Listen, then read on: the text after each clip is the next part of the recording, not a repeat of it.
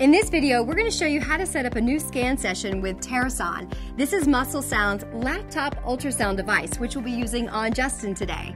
And your Terason kit is comprised of a laptop and a probe. Once the machine boots up, go to the patient screen in the ultrasound program. From here, select New.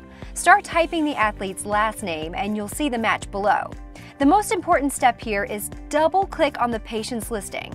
Their data will automatically show up in the form above. If you single click, the information will not populate. From here, select New Study and confirm by hitting the Accept button on the bottom left of the screen. Then on your extended keyboard, find the T to insert the text annotation. Use the LR and M toggle buttons to identify the muscle you're going to scan. Today we're going to do the right RF or rectus femoris. Now it's time to start the scan. You can apply the gel in three ways, all effective. I'm going to just dip the probe into the tub of gel covering the head. Then I'm going to find the right image. And once you have that image, press the camera button on the extended keyboard to freeze it. For each additional image of the same muscle, you don't have to change the annotation. You can just store the images by selecting the camera button. When moving on to a new muscle, press T and use the LR and M toggles to identify the muscle scanned.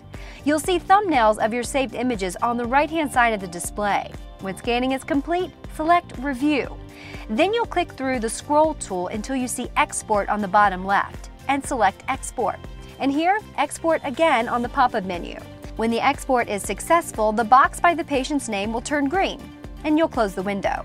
From here, navigate to the MuscleSound web browser at app.musclesound.com. Search for your athlete and select the New Session button.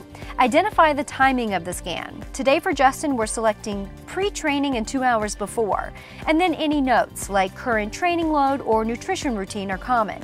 If either you or Justin are interested in receiving a comprehensive report of this session via email, simply check the email boxes and the email address to use for Justin.